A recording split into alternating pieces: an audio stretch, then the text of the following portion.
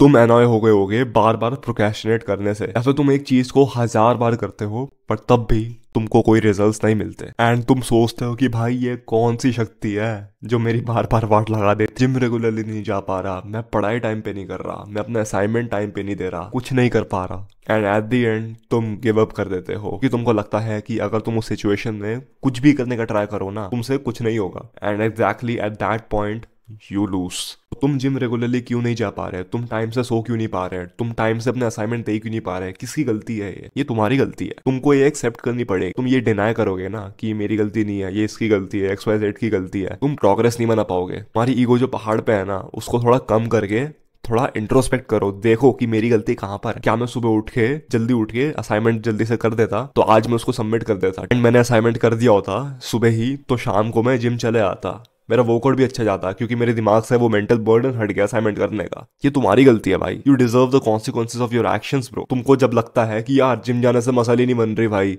क्या करूँ भाई? जिम जाने से मसली नहीं बनती क्विट कर देता हूँ भाई। ना तुम रेगुलरली जिम जा रहे हो, तुम दो तीन महीने गए, तुमको कुछ रिजल्ट्स नहीं मिले, तुमने ढंग से ट्रेन भी नहीं किया। तुमको पता भी नहीं भाई क्या ढंग से ट्रेन करना चाहिए, कौन सी डाइट फॉलो करनी चाहिए, क्या मैं सरप्लस में रहूँ, क्या मैं बल्क करूँ, क्या मैं कट करूँ, तुमको कुछ पता है नहीं। बस तीन महीने तुमने प्रोटीन पाउडर पी लिया एंड जिम करते रहे। तुमको कुछ ज़्यादा रिज़ल्ट नहीं मिले, तुमको लगा कि भाई कुछ होता ही नहीं इससे। मैं छोड़ देता हूँ। ये देखो, अगर तुम कुछ भी अचीव करने जाओगे ना be a point call valley of disappointment ये चीज़ एटॉमिक हैबिट्स में बहुत अच्छे से एक्सप्लेन की गई है। बट मैं तुमको एक ब्रीफ में बता देता हूँ। वैली ऑफ़ डिसअपॉइंटमेंट मीन्स की एक ऐसा पॉइंट जब तुमको कुछ रिज़ल्ट नहीं मिलते। लाइक like, अगर तुम जितना भी ट्राई करो ना तुमको रिज़ल्ट नहीं मिलेंगे। लाइक like, बहुत ज़्यादा कम मिलेंगे रिज़ल्ट एंड इस पॉइंट पे बहुत ज़्यादा लोग डिमोटिवेट हो जाते हैं। बहुत ज़्यादा लोग इसी पॉइंट पे ही क्विट कर देते हैं। तुम जितना भी काम कर रहे हो ना जितना में तुम एफर्ट लगा रहे हो एंड तुमको तब भी रिज़ल्ट नहीं मिल रहे। What is actually happening is वो एक एक रिज़ल्ट कंपाउंड हो रहा है। वो एकदम से एक्सप्लोर करके ऊपर चले जाएगा। Then you will be out of that valley of disappointment बहुत लोगों पे कोई मोटिवेशन नहीं होती। They lack a purpose and उनको रिज़ल्ट नहीं मिलते। इस पॉइंट पे छोड़ देते हैं अपना काम। चाहे वो उनके लिए जिम जाना हो जिम में उनको रिज़ल्ट नहीं मिल रहे। They are going through a valley of disappointment phase वो कुछ भी कर ले रिज़ल्ट नहीं मिल रहे। उनकी स्ट्रेंथ नहीं बढ़ रही, उनकी मसल नहीं बढ़ रही। एट दैट पॉइंट उनको लगता होगा कि यार I think it's time to just leave it now but that is a wrong perspective को उस परस्पेक्टिव से देखो कि ये कंपाउंड हो रहा है। जो भी मैं काम कर रहा हूँ ना, ये सब कंपाउंड हो रहा है। And at a point it will explode and it will give me tremendous result ये एक लीनियर ग्राफ नहीं है। इस ग्राफ को क्या बोलेंगे? यार मेरे को नहीं पता but at a point it will just explode and you will get huge result but थोड़ा टाइम लगेगा। बट मेरे हिसाब से you should be grateful for failing देखो यार, देखो, तुम हार नहीं रहे, तुम गिव अप नहीं कर रहे बट तुम फेल ज़रूर करोगे। तुम हर टाइम फेल करोगे मिस्टेक्स करोगे, हर टाइम करोगे ऑब्वियस है करोगे ना but be grateful for that look at failure as an opportunity to improve to get that one step closer to that explosion her mistakes को, हर फेलियर को तुम ऐसे देखो कि ये मेरा एक स्टेप है to getting out of this value of disappointment that's why it is so important कि तुम एक ईगो ना रखो, तुम ह्यूमिलिएशन रखो, देखो कि मैं कहाँ गलती कर रहा हूँ। अगर तुमको कुछ लोगों से सीखने को मिल रहा है, तुम सीखो। जो भी तुम काम करते हो ना, वो चीज़ कंपाउंड होती है।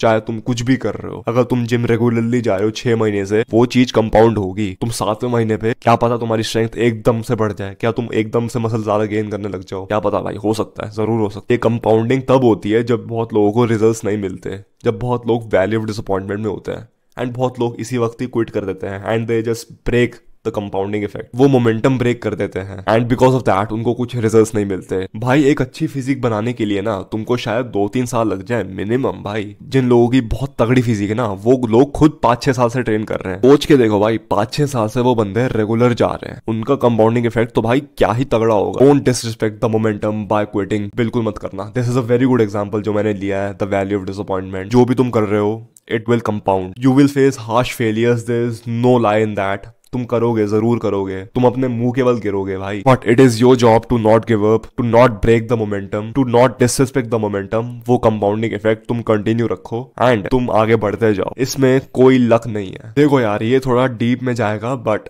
जब तुम हार्श फेलियर एक्सपीरियंस करते हो ना लाइक तुम बहुत बड़ा फेलियर एक्सपीरियंस करते हो you should have a purpose the why मैं क्यों कर रहा हूँ ये चीज़? तुम पे ये होना चाहिए एंड बहुत लोगों पे नहीं होता। बहुत लोग बस रिवॉर्ड्स को देखते हैं कि भाई अगर मैं एक्स करूँगा तो मेरे को वाई मिलेगा। जब उनको फेलियर्स एक्सपीरियंस होता है ना, उनका मन नहीं करता काम करने का because because they didn't think about the problems that they will have to face उन्होंने बस रिवॉर्ड्स के बारे में सोचा। एंड भाई, हर बंदा करता है रिवॉर्ड्स तुम एग्ज़ाम के लिए पढ़ रहे हो, तुम्हारा रिवॉर्ड क्या होगा भाई? Getting good marks on your paper है, वो तुम्हारे रिवॉर्ड है। पर तुम ये नहीं सोचते कि मेरे को कितनी मेहनत करनी होगी पढ़ने के लिए, या फिर वो मार्क्स लाने के लिए। वो भी तो एक चीज़ है ना। ये तीन चीज़ें तुमको रोकेंगी क्विट करने से। Discipline will power and a purpose देखो यार, एक पर्पस फाइंड करने के लिए ना, तुमको बहुत डीप जाना पड़ेगा मेरे हिसाब से भाई, अपने आप को पाँच छह दिन के लिए सोशल मीडिया से दूर रखो टीवी बंद करो अपना इंस्टाग्राम डिलीट मारो, थोड़ा बाहर घूमना कम करो एंड जर्नल करो इंट्रोस्पेक्ट करो, करना चाहिए क्या नहीं करना चाहिए। कैसे करना चाहिए, कैसे नहीं करना चाहिए? भाई, सब कुछ लिख डालो। क्या प्रॉब्लम्स तुम अभी फेस कर रहे हो? क्या प्रॉब्लम्स तुम बाद में फेस करोगे? क्या रिवॉर्ड्स तुमको चाहिए? सब कुछ लिख डालो। I can not make a video on purpose right now अगर मैं बनाऊँगा तो भाई वो दो तीन घंटे लंबी हो जाएगी। दूसरी चीज़, तुमको एक डिसिप्लिन माइंडसेट बिल्ड करना पड़ेगा। And also you need to have will power मैंने उस पर ऑलरेडी दो वीडियोज़ बना रखे हैं। The link for that video will be in my description but yeah man that's for now thank you for watching take care and take action